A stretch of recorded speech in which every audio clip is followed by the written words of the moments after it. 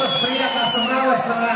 здесь нету, а это, на наши концерты не ходит ни Борис Моисеев, ни Филипп Киркоров, ни даже, как его мать это, Дима Билан и же с ними.